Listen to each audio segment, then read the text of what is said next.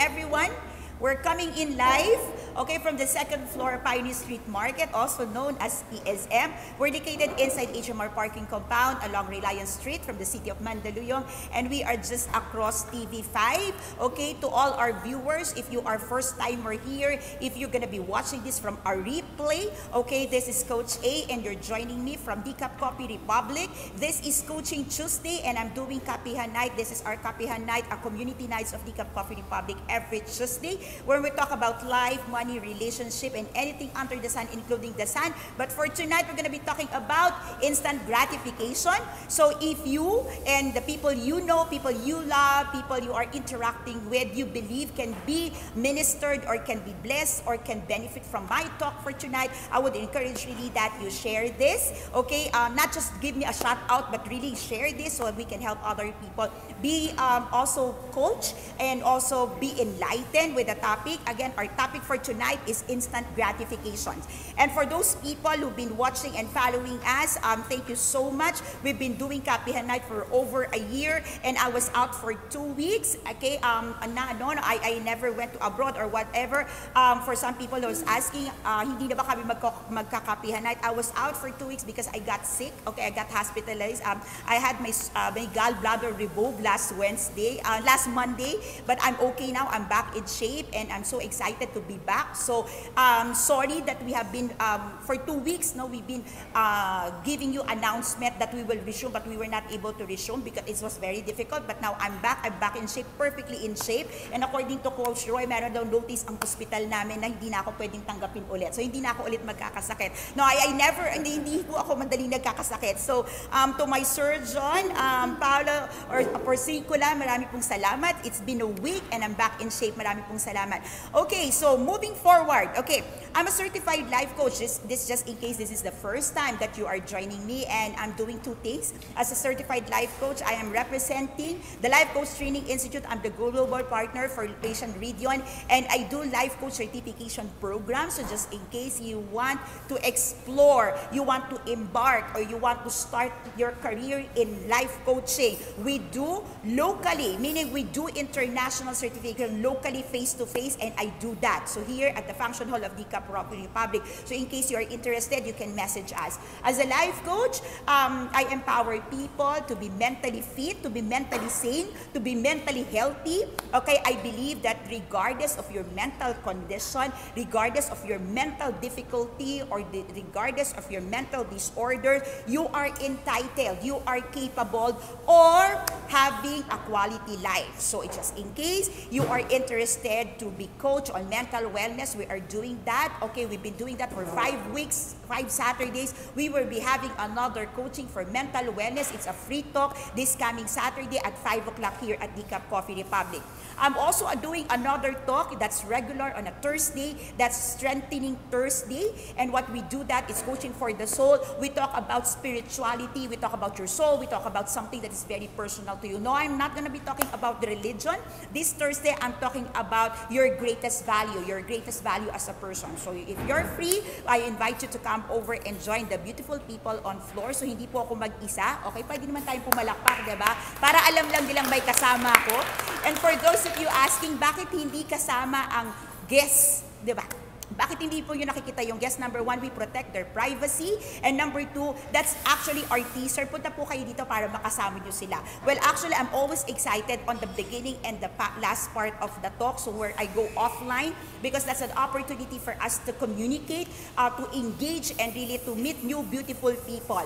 Tonight also, I am joined with uh, beautiful coaches. I have Coach Lau, I have Coach Roy, Coach Ann, Coach Jessica, I have Coach Doms, Coach Raj also on floor. So good evening everyone. Okay, to all the people on floor. Kay Al, good evening. Welcome back. Okay, so to all the people who just joined us for tonight, um, my question, I started it with our on-floor guests. I asked them to have a mental picture of their instant gratification. Meaning, what is that one thing that you cannot wait? Or what is one thing that you would always grab into instead of waiting? So, what is instant communi- uh, what is instant gratification? You have heard it many times, correct? Yes. It is common. Okay, is it good? Is it bad? When you hear it, to be honest. Oh, ways. ha? Both Both ways. Both ways. Both ways kasi you have been gratified. Bad ways kasi people sasabihin nila you cannot wait. Tama? Yes. Okay. Instant gratification is a term, okay, na normally refers to, kaya sabi nila bad, a temptation. Okay, they would say that it's a temptation that is normally resulting to the tendency to forego future benefit. Kaya nga siya instant gratification. Ibig sabihin nun, had you waited, you would have a future benefit that is regarded or believed to be greater than what you will be taking in if you pursue or you take the instant gratification. Okay? So, it's a natural human urge. Okay? It is natural, okay? Human urge that we want good, that we want to satisfy our flesh for pleasure. Normal naman yon. We don't want pain. Di ba? Kaya pag nagutom ka at hindi mo kaya magluto ngayon, whatever is instant, you take it kasi gutom ka. Correct? Oh, o yan. Di ba? Totoo naman. Amin po tayo, right? Okay, ano pa yung mga instant gratifications na meron tayo? Okay, kaya po may negosyo ang credit card kasi pag may gusto kang bilhin kahit wala kang pera, anong gagawin mo sa credit card mo? Anong gagawin sa credit card? Isuswipe. Okay, so the whole credit card business industry also originated from the perspective that we want instant gratification. Okay, if we want something, okay, and we cannot wait, we will swipe our credit card. But if we can wait, what we will do? What will you do? You will save, 'di ba? Sabi nila, the flip side of instant gratification is delayed gratification or the decision to put the to, to put off satisfying your desire now to gain even a better reward in the future. Let's talk about food. If you're hungry and you just, you know, temper your stomach for a while instead of getting and resulting to fast food, instead of resulting to instant food, you decided to buy and cook healthy food. Ano, ano po yung flip side nun? You will become healthy. Tama? Pero kung hindi ka pwedeng maghintay at lagi kang madaling magutom, what will happen is you will always resolve to instant food. Correct? And instant food, okay, or fast food food will give you what? Sickness. Ha? You will give you. Empty calories, bloating stomach. Totoo naman po yun. With all due respect to the fast food, we eat fast food as well. Okay? Pero that's what happened, correct? Correct? Do you, do, do you get me? Can you relate? Can you agree with me? Okay, so ano pa? Ano pa yung mga ano pa yung mga normal? Oh, ito. Kapag nagugutom ka, okay, 'di ba? Aside from instant food, ano pa yung ano mo? High calorie snack, chips. Chips and dips. Chips and Dips. dips. Oh, 'di ba? Dinagdagan pa natin. 'Di ba that's what it does kasi the moment that you feel hungry, okay, if you take the chips, you get satisfied because of the saltiness of it. O, 'di ba mas madali naman talaga kumuha ng chips? Kesa magluto? Kesa magsaing? Kesa mamalengke? Totoo? Agree? Oh, oh okay lang yan. Oh, okay lang, di ba? Okay, eto, mas madaling is-snooze off ang alarm clock kesa bumangon, okay, at mag-unat-unat. Okay, so ano yon? Instant gratification that you still want to prolong. Minsan nga kahit ang haba na ng tulog mo, gusto mo pa rin matulog. Okay, sino dito ang nag-snooze ng alarm clock sa umaga? Amin kayo, yung totoo, kita kayo ni Lord. Oh, 'di ba? And not just once, but twice, but thrice, 'di ba? Okay, ako hindi ako nag-snooze off. Alam mo bakit? Kasi ina-alarm ko na siya na magkakasunod. Oh, 'di ba? Yun na 'yon. Talaga alam ko na ma- makukulingling na yung tenga ko talaga, 'di ba? No. Seriously. What, what is it for you? If you can get up a little earlier by 30 minutes, you can do a little exercise, you can walk down the road, you can do some jumping ropes, you can do some stretching in the house, and that will benefit you with a better health. Agree, disagree? Agree? Yes. All right, okay. Then, we have temptations of going out with friends for a drinks even if kailangan nating mag-aral for, for the next day presentation. Pag estudyante ka, at chill-chill muna tayo kahit may exam tomorrow. Kasi masarap kasama yung friends, eh. hirap kaya mag-aral. Correct? Okay? If we put it on a higher level, okay, why do you think there are people who would buy a new car, okay, on a mortgage, on a loan? Same. Eh kasi ang hirap mag-commute eh. Correct? Mag-grab. Eh, mahal ang grab. O, di ba? Kukomputin mo yan. May mga computations yan. Okay? And sometimes, okay, some people will just spend all their time in the internet. Okay? In Facebook, in Twitter, in Instagram, than doing more productive things. Bakit? Kasi pag ginagawa mo productive things, wala naman masyadong um, mag upload agad sa'yo because it will take time for it to bloom. Tama? Di ba? Pero sa Facebook, pag maganda ang post mo, merong agad likes. My comments, my share. Tama? Oh, bakit, bakit, di ba? So, these are just common things which I believe you can relate, okay? This may not be 100% true to you, but I'm giving you a picture why, okay, why there are no, there are indeed a reality that there is an instant gratification. No matter how matured you are, there are always a certain level where you wanted an instant gratification. Agree, disagree? Agree, disagree. Okay, let me share with you a couple of things why. Okay, why? Uh, why why why you would always resort to instant gratification. So you don't beat yourself. Yan. Yan kasi yung mga tao, di ba sabi ko na nga ba mali ako, you don't do that. All right? Now, in understanding why do you resort to a certain things, you would also have the empowerment to do some correcting within yourself. Clear? So we're not here to bombard you with the do's and don'ts. What I'm, I wanted to share with you is why do you think or why and where are these coming from? And when you get to understand it within you, you will be able to do some adjustment. Are we clear? Okay. Can you take a deep breath? Hold it. Breathe out. You can do better. Breathe in. Na-stress na kasi sila eh. Okay, pinapag. Kayo din po, pwede kayong sumali dyan kung nanonood kayo. Breathe out. Ayan. Okay, you are free to comment. You can you are free to um, share your thoughts, your ideas, and if in case you message me directly to Adet Purto, um, I will message and answer you back later on. Okay. Um, otherwise, if you are messaging through Coach A page, I think si Raj can can read it and we can respond it to you. All right. So, ready? Okay. Number one and most common why you would always result to instant gratification is your desire to avoid delay. O sino ba ang gusto na di-delay?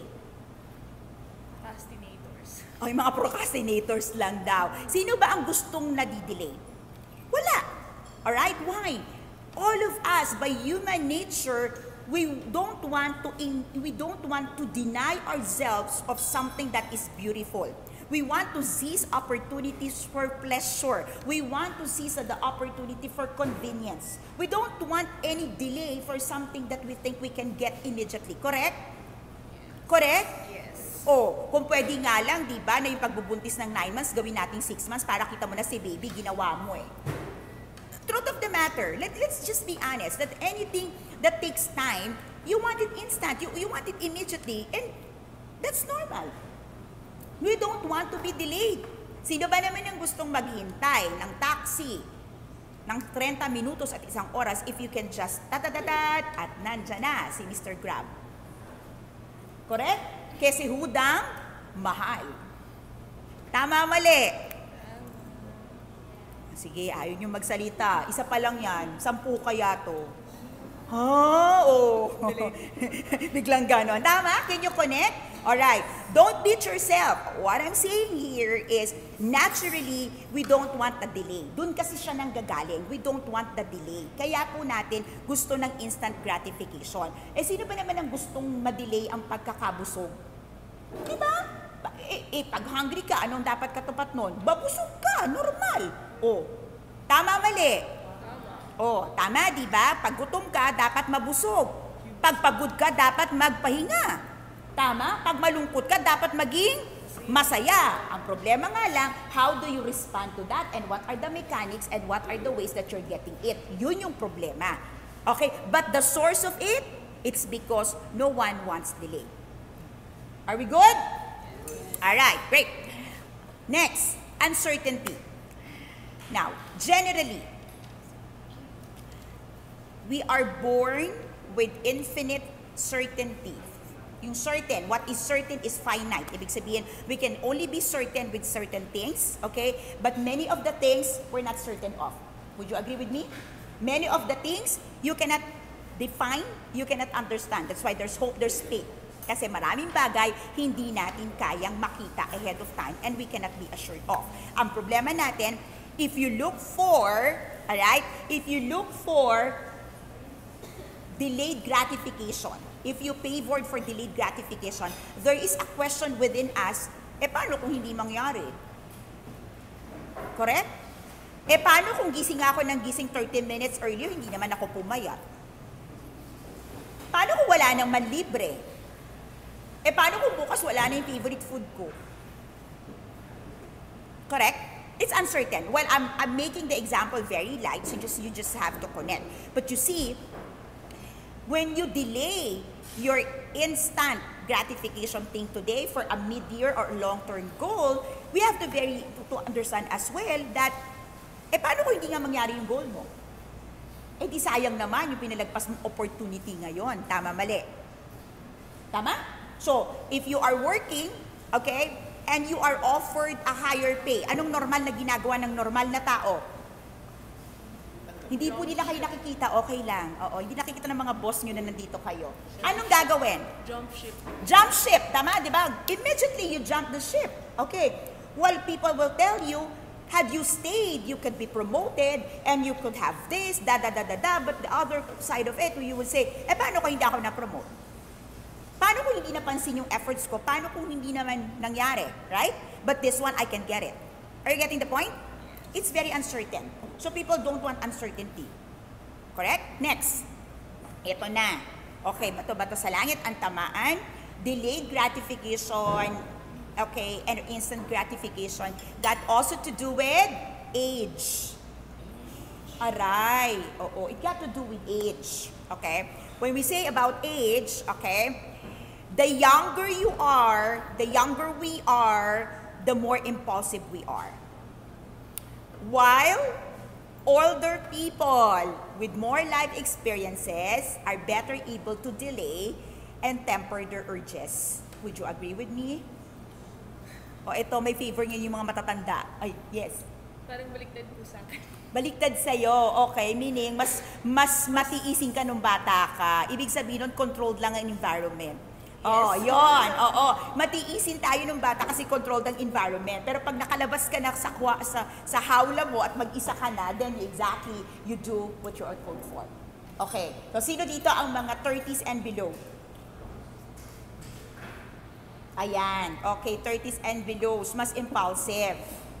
Oo, kaya sabi nila life begins at 40. Kasi pag 40 ka, medyo nag-iisip-isip ka na. Okay. So ako, anong coach ang nangyari dun sa 30 and ah, 30 and between 30 and 40, tumitino ka na, umaayos ka na.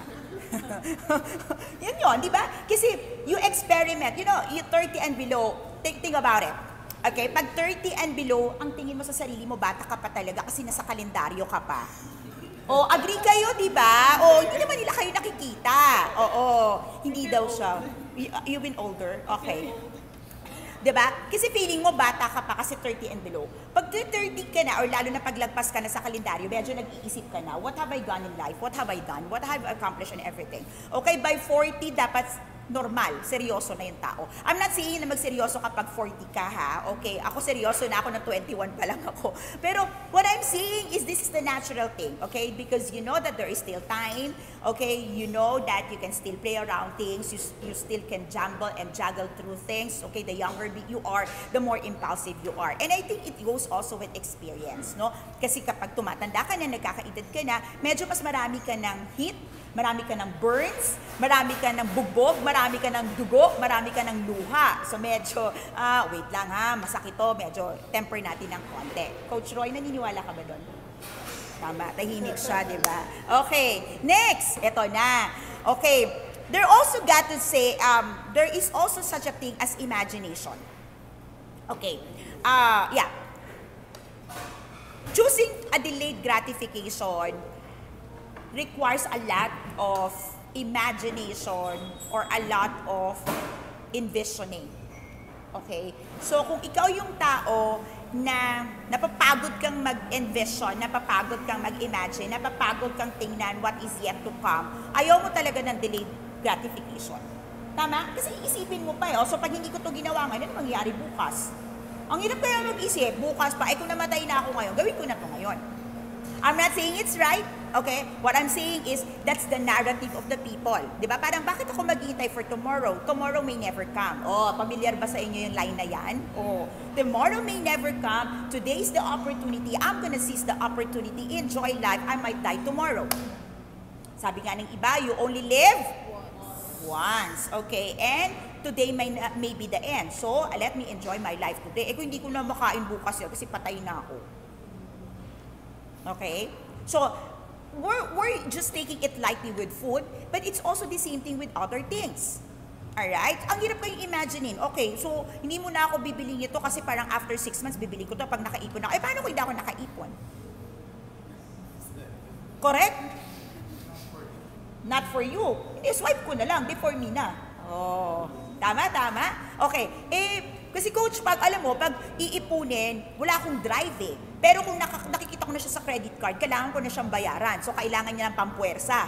Diba? So, iba-iba po tayo, but basically, lahat po yan ay nag, nag uh, boil down doon sa point na ang hirap kasi i-imagine what is yet to come. Okay? Next. Ito na. Uh, there is also such a thing na tinatawag po nating cognitive capacity. Okay? Yung cognitive capacity, um, the higher your intelligence, cognitive, okay, the higher your intelligence, mas matalino daw po, okay, mas kayang mag-forward thinking. Okay? Pag mas matalino, okay, kapag mas intelihente, mas kayang mag-isip in advance. So, ibig kong sabihin nun, you can delay your gratification. O, ulitin natin ulit. Normally, people who are innately, innately intelligent, okay, lagi po silang nagko-compute Lagi po nilang tinitingnan yung future benefits. Lagi po nilang tinitingnan what it will come to them, what it will happen, you know, what will happen to them. Palaging, basically, nagpa-process sila talaga. So, pag innately ganun yung cognitive behavior ng tao, uh, they can always delay gratifications kasi innately ganun na po sila talaga. Okay? So, yung mga tao pong ayaw mag-isip, less intelligent ba? Hindi naman po eh. I don't want to say na pag ayaw mo mag-isip less intelligent, tamad lang sigurong mag-isip. Oo, alam niyo po may mga taong ganon. Totoo po yun. Um, pwede naman po talagang matalino, tamid lang mag-isip. Or gusto lang nilang isipin yung gusto nilang isipin. Alright? So, kesa isipin ko pa kung anong mangyayari kapag hindi ko yan binili, bilin ko na lang. Eh paano pag hindi mo nabayaran? Eh di let me face it when I cross the bridge when I get there. Doon po nang galing yon. O sino nakarinig na, na sa inyo ng motto na yon o ng saying na yon? Cross the bridge when you get there. Sige, taas ang kamay. Hindi, hindi pa narinig yon? Coach, hindi mo pa narinig yung cross the bridge? Narinig, narinig naman. Okay. Di ba? Ano ibig sabihin ng cross the bridge when you get there? Doon mo na isipin pag nangyari. Kung pumuto, o di pumuto. Kung hindi ko nabayaran, hindi, hindi ko nabayaran. Meron namang, ano, meron namang penalty charge. Kaya nga may service fee and penalty charge, di ba? O, kaya nga may interest. Tama, mali. Next, okay, sabi din po nila, okay, based on study, okay, poverty is playing a role in instant gratification. Okay, uh, even if, ito po, even if you have the wisdom, ibig sabihin po, kahit matalino ka, okay? Ibig sabihin nun, kahit naiintindihan mo na, ano, dapat mag-save ka, dapat huwag mo itong bilhin, pag hindi dadadada in everything, lahat na ng pangaral sa'yo, lahat na ng alam mo, it will also play a part po if you are in poverty or you were raised in poverty. Kasi, um, this is already your opportunity to experience the pleasure. So, bakit mo pa siya ipapadelay? Tama? So, di ba? Ano daw, may question? Yes. Um, kasi I studied sociology back in college. So, Sure. Um, with poverty po kasi, it's not just about instant gratification, Correct. but the chance of getting out of it. Correct. Hindi naman siya instant in a sense na, oh yes, tomorrow I'll be rich, but at least within this night, I can eat. Correct. That is still instant. Yes. That's still instant. Yes. Tama? Yes. Because your point is, I need to eat now. Kasi kung ang experience ko from poverty, gutom ako, di ba? I need to eat now. Di ba? Yes. Pero, But it also plays a role on what they are looking forward in their future. So, Correct. both instant and delayed. correct. But uh, most of the time, because nga of poverty, poverty speaks of basic. Yes. Correct? Kasi pag, pag hindi ka into poverty, you go more. Diba? So before you go higher, it's more of, kaya food. Kaya yun yung lagi natin example. The Basic food, the clothing, the basic necessity, and normally this hits the one on poverty. Tama? Kasi think about it. Kung dati ka nang nagugutom, ngayon may pag- pagkakataon kang kumain ng masarap, why would you delay it? And without thinking yon, instant pa rin yon. Hindi ko iisipin ako bukas ba yayaman ako o hindi. Basta kailangan kong kumain ngayon. Dati na nga ako nagugutom, magugutom pa ako ulit ngayon. Eh may mapambili naman ako, di bumili ako ngayon. Correct? Yes. Alright. So, let's move on. Impulsiveness. May mga tao po talagang impulsive. Agree? Correct? Ah, di ba? Oh, ayun na talaga. Oh, wala wala tayong pinag-uusapan ng instant gratification, delayed gratification. Meron po talagang tinatawag na simply impulsive. Yan. Okay? So, whether delayed yan, whether advanced yan, whether forever yan, eh, impulsive lang ako. And many times, okay, lagi natin nakikita, ay, ayaw niyan mag-intay. Hindi, impulsive lang talaga siya. Innate. Tama, tama? Yes. Okay? If you are an impulsive person, it is really very difficult for you to consider, okay, a gratification in the future. Yeah. O, diba? Tingnan nyo to. Pag impulsive ka, pag nakakita ka gusto mong bilhin, di mo nga inisip kung anong meron yan eh. Bibilin mo. Totoo yun. Pag gusto mo, gusto mo. Walang, walang benefits yan. Gusto ko lang. That's it. You're on it.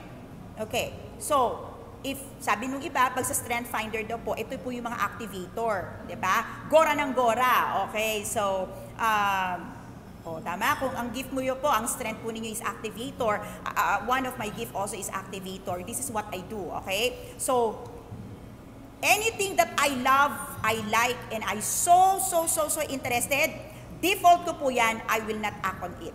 Yan. That's something that I learned. Okay? Ano yan? The moment that I under, um, I really understood that that strength, um, as an activator is a very good strength. But if you um, misuse it, delikado po yan. Kasi galaw ka ng galaw without thinking. So in my case po, ang ginagawa ko talaga, anything na gustong gusto ko, mas matagal akong nagdidesisyon kasi gusto ko siya. Yan. Kasi I have to figure it out, tama ba siya o gusto ko lang siya. So, It's like love. Yeah, personal ko po yan. That's how I, I temper myself. Basta gusto ko, mas matagal. Yan. Next, okay.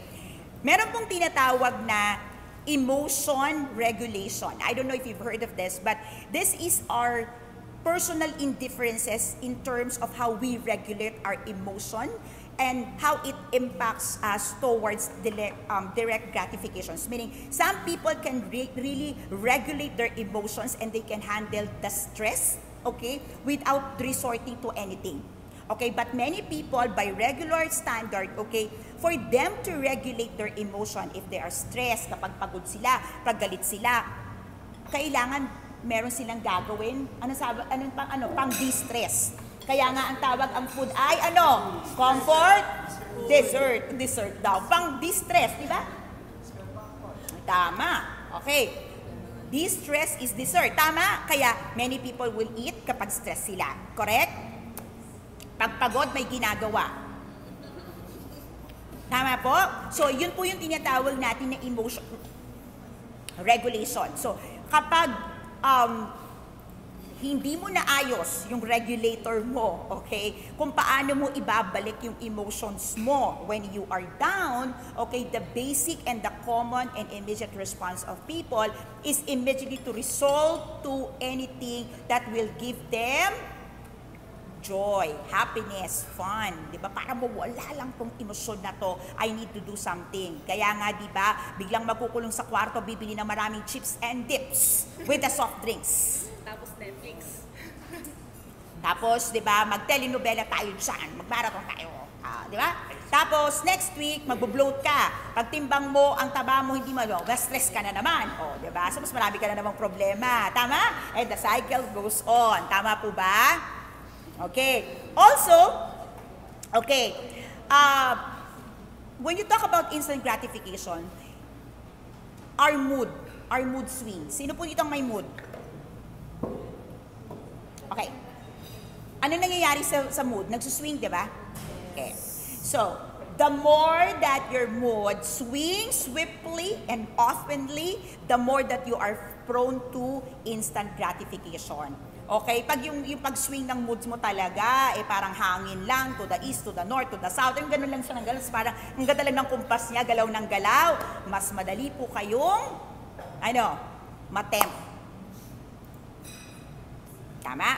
Because if your mood can easily be swayed, okay, by outside forces, if your mood can be easily swayed by, you know, yung madali ka talagang maboard. Sino yung mga madaling maboard dito? Impatient people. Oh, nakakainis, di ba? Oh, pag nainis ka na, automatic yan. Yung magre-resort ka, what would gratify you immediately kasi nakakainis na. Okay? So, pag ayaw mo maghintay, eh naghihintay ka. Dadadadan, di ba? Nagtumataas na yung acid, napupunta na sa utak mo. Di ba? Mula sa tiyan, nasa utak na yung acid. Okay, patay na. Tama? Okay, nagpapanik ka. Bakit ka nagpapanik? Naiinis ka na. Kasi tinan mo ha, many times yung impatient, yung pag naghihintay ka, um, ang susunod na magpapanik yung brain mo kasi pag na-delay ito, hindi nangyari ito, nag-iisip ng utak mo, papanik ganito, ano naman yan, ang dami na nangyari. So stress ka na. So dahil stress ka na, maghahanap ka ng pang pasaya sa'yo. Tingnan nyo po, di ba, yung mga queuing lines, di ba, sa grocery. Sino po nagpunta na ng grocery dito? Taas po ang kamay. Okay, medyo practicein lang natin, galaw kayo ng konti. Taga ko nagsasalita, baka yan. Galaw po tayo, taas kamay, di ba? Okay, so, kung nagpunta na po kayo sa grocery, napapansin nyo po, di ba ang grocery, pag checkout out counters, normally pumipila kayo. Pumipila tayo, tama?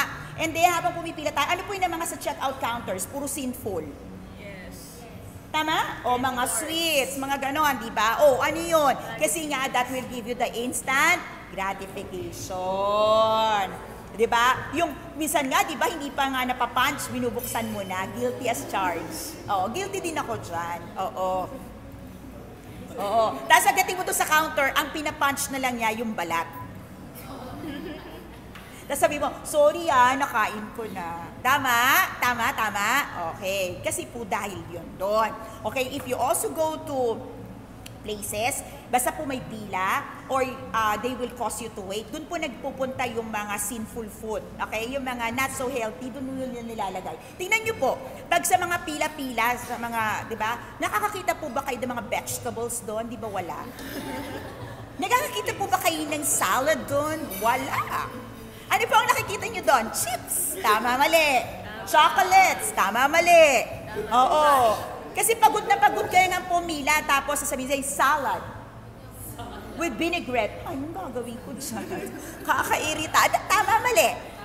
Oh, di ba? Yun yun. But when you are in a relax, di ba, tanong nyo po, pag, ito, yan nyo, pag kayo ay nasa spa, nasa bookstore ka, you know, a little, you know, a little more relaxed, ambience, you, pag inoferan ka ng tea, you're good at it, right? Tapos pag sinabing soft drinks, soft drinks, tea tayo. Di ba? Tama? Okay. Pero pag pumipila ka, tapos sabihin sa'yo, um, gusto mo ng tea? Hot tea! Herbal tea! For your health. For my health? okay na yung health na yan. Kasi nawawala na yung, yung katinuan ko dito. Anong kukunin mo? Anong kukunin mo? Soft drinks. Ilabas yan. Tama, mali. Coke! Ah, hindi po ako yung promoter ng Coke. Sinasabi ko lang po ang reality. Can you connect with me? Oh, di ba? So, ganun po yung behavior nun. Yun po yung psychology behind doon. Di ba? Tama? Oh. Ang haba-haba na ng pinila mo, tapos ibibigay pa sa'yo. Alugbati. Oh, di ba? Ano to? Oh, di ba? Di lalo ka nagalit. Pero pagdating sa dulo ng pila, ma'am, okay, would you like some chocolates? Tapos ang kwento. Ah, eh kung, kung binigyan kahinan ka ng salad, tingnan natin kung anong pakiramdam mo. Ang galit mo, maniwala ka, hmm, wala pang natuwa nun. Na pagdating sa dulo ng pila, binigay sa kanya salad. Wala pang gumawa nun. Tapos habang nakapila kayo, ah, okay, salad-salad tayo dyan. Walang ganun. Oh, tingnan niyo po sa EDSA, pag natatraffic tayo, commuters and drivers, ano po mga binibenta sa atin? Mga nuts, yung mga mabibilis, di ba? Wala naman nagbenta doon ng salad eh. Po eh. Naniniwala kayo? Ay, hindi ah. Bakit nakakapag ano din sila doon ng ice cream? Meron namang container.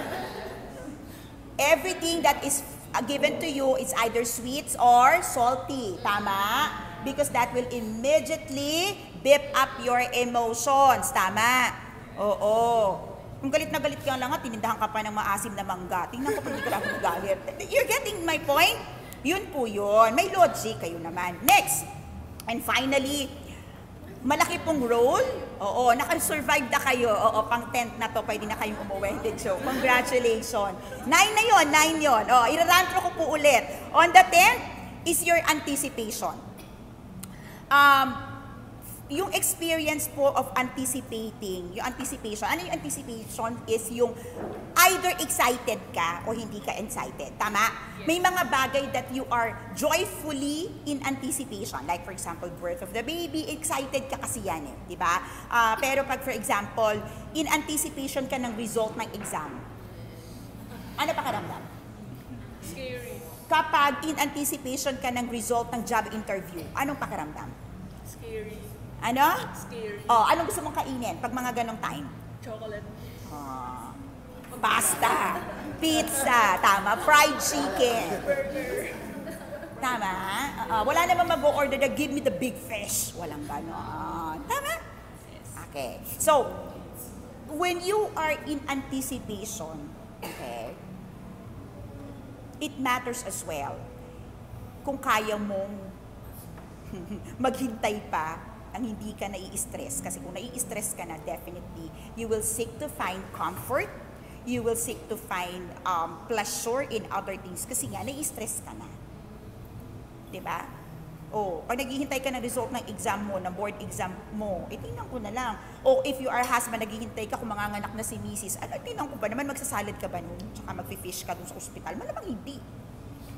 'Di ba? Puro soft drinks, chips, and y- y- y- it got to do with, alright, at that point in time, what is your capacity to wait and what is your condition while waiting. Okay? So, sino po nakakuha ng 10? 10 po lahat in. Sino po? 10? You got the 10? 9? Okay, first is your desire to avoid delay, your uncertainty, your age, imagination, cognitive capacity, poverty, okay, impulsiveness, emotion, regulator or regulation, your mood, and your anticipation.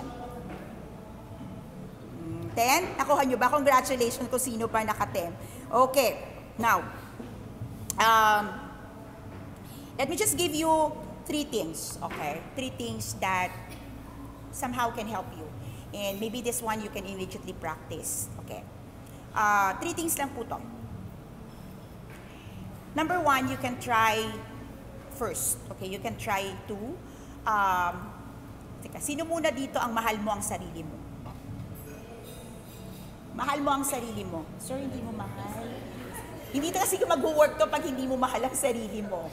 Okay? Uh, yun, sorry, I have to say this, okay?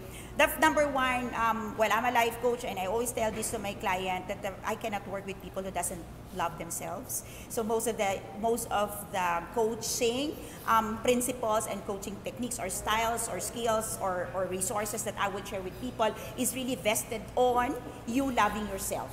Clear lang po tayo. So, ulitin po natin, mahal niyo po ba ang sarili niyo? Learning. Mahal niyo po ba ang sarili niyo? Learning daw. So, kailangan niya ng tulong, coaches. Tulungan niyo siya para mahalin niya ang sarili niya. Okay, ng bonggang-bongga. Okay.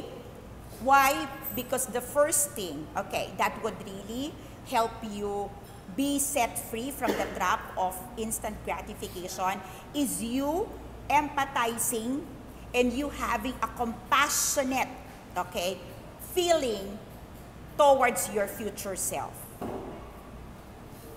Okay? Kasi yung self mo ngayon can already adjust to what you have today. Yung self mo ngayon can already respond to the pressure of today. Pero ang tanong ko sa'yo, yung future self mo ba, kumusta siya? Yung ginagawa mo ba ngayon nakakatulong para sa future self mo? Yung mga desisyon mo ba ngayon, sasabihin sa iyo ng future self mo, congratulations, thank you, I am so grateful that was your decision five years ago. Sige, tahimik po tayong lahat. Okay. Tama? Alright? So, yung mga pinagbibili mo ba ngayon, five years from now, two years from now, three years from now, your future self will tell you what a great investment or your future self will tell you what a waste of money. Oh my gosh. Oh my gosh. Oh my gosh. Oh, oh. If five years from now or 10 years from now, you already you are already a mother, you are already a wife, or you are already a husband, you are already a father. Will that future self say, "Wow, great job. You have really prepared for this role with all the decisions of time kung anong paano mo in-spend yung time mo last time." Sige, at nag-iisip po tayong lahat. Okay, so two years from now, five years from now, ten years would, from now, would you tell to your old self, sana naghintay ka sa tamang tao? Sa tamang panahon? You didn't saw it coming. Okay. didn't see, you didn't see it coming, right? Okay. Oo. Puro professional kanina. Now you know Coach A. Tama, hindi nyo napansin. Oo, yun ang dive nun, di ba? Kasi kung naghintay ka lang sa tamang tao at sa tamang panahon, sana maganda ang buhay mo ngayon. Kung sana inalagaan mo ang sarili mo, hindi ka miserable ngayon. Kasi inaalagaan ka rin. Oo. Kung minahal mo ang sarili mo at nirespeto mo ang sarili mo, sana mahal na mahal ka rin niya ngayon at nirerespeto ka rin niya. Tama, mali. Ang layo ng tama nito. Bakit napunta doon? Ang layo.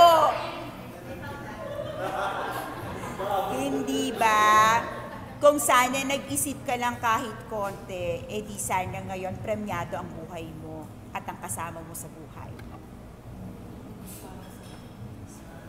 Sana. Okay. Hindi ako nakakakanta. Kung nakakakanta ako, kinantahan ko na kayong lahat. Pero ang sarap kumanta. So kung nakakakanta kayo, kumanta na kayo.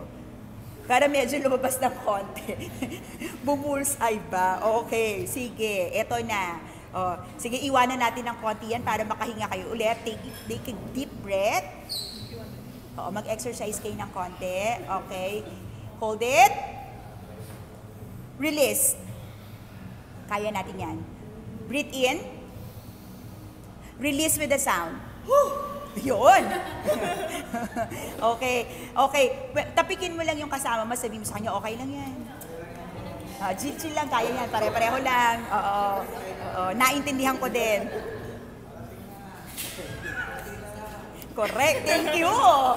Okay. Next, para ulit ito sa sarili mo. Okay. Para po maalagaan ng sarili from instant gratification, dapat po alam po natin gumawa ng tinatawag na pre-commitment. Ah, ano daw? Oo, ano ibig sabihin ng pre-commitment? You have to make a commitment, pre-commitment that no matter what happens, you will protect yourself from all the temptation that will possibly and would definitely harm you. Sabi ko nga po kanina sa aking Coach A page, what you allow to distract you will ultimately destruct.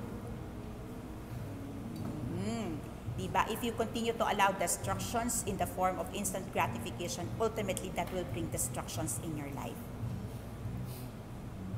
tahimik na po tayong lahat. Okay. When you do a, a pre-commitment to take care of yourself, to love yourself, and to put your value above all else, okay, you will be able to really set off anything that is immediate, anything that is instant, because you know that everything that is worth keeping is worth waiting. From personal, from love life, to career, okay, to everything in life. If it's worth keeping, it's worth waiting. So it takes time to wait for great things to come into your life. There is no shortcuts. And finally, okay, tatlo, na, tatlo lang to, pwede na tayong huminga. Okay. finally, okay, what really works is practice the ha- practice the discipline of breaking your big goals, okay, um, to small and manageable goals. All right. So many times you bombard yourself, you hit yourself, or you penalize yourself with so much goals na ang lalaki nila that sometimes you feel, ma-achieve ko pa ba to, makukuha ko pa to and everything, okay? Um, what you can do is to break it down in smaller things, okay, that you can manage, that you can imagine, that you can see yourself achieving it, okay? And as you achieve it, it will also be great if you can reward yourself. Okay? Parang don't wait for the big goals to happen before you you reward yourself. Kasi in the process of waiting for great things to happen, pag hindi ka na nakapaghintay, you will result to instant gratification. But if you practice it, cutting it smaller, and then as you receive smaller, okay, smaller success, and then you give smaller rewards or, you know, rewards regularly, then you know, okay, that you don't have to resort to instant gratifications to receive great things in life. Remember that each steps that you make uh, that is more committed to your future will likely be the best decision for you and your future. Okay? Sino po dito ang wala pang pamilya? Sino po dito ang wala pang anak at wala pa pong asawa? Okay. Then great. I have more of that in the house. So, ilan lang ata kami lang ata ni Coach Roy dito. Okay? So, I'm a parent. Si Coach Roy is a parent. And for all the parents out there, I know that you can relate with me. So, single professional, single people. Okay? When you make a decision, remember. Okay? When you make a decision, remember this. Okay? Soon you will be parents. Not unless ayaw nyo mag-asawa. Okay? So, if you want and if you're planning to be a parent, okay, think about it. If you will be a parent and your daughter or your son will be doing exactly the way you're doing things right now, what would you say and what would you feel? Would you say, kudos, ang galing mo? Or pag nakita mong ginagawa yan ng anak mo, hindi ka talaga makakmak... Ganun eh. Yon. So malamang alam mo na ang sagot kung tama o mali yung ginagawa mo. I believe in the principle of sowing and reaping and the principle will always happen no matter you whether you believe it or not and the principle of sowing and reaping what you sow, you will reap. And the best way to, to really sow for the great future of your children is to start sowing it in yourself. Because your children will see and will become who you are. Sabi po nila, kapag po may small monkey in the house, definitely there is a big monkey in the house. Okay? So parents out there, if there are um, things, ugali, if there are things that your children you don't like, you despise, I would really encourage that to take within you, you take a look within yourself because most probably sa atin po siya nagsimula. It's a bitter pill, a bitter bitter truth to accept, but most of the time, if we will just take a humble note and a humble stand, we will realize that it all started with us. So, if you are young, if you are single and you are yet to enter the marriage life and to be a parent, you still have all the best opportunity in life right now to do the sowing and reaping and start sowing it and making your life beautiful.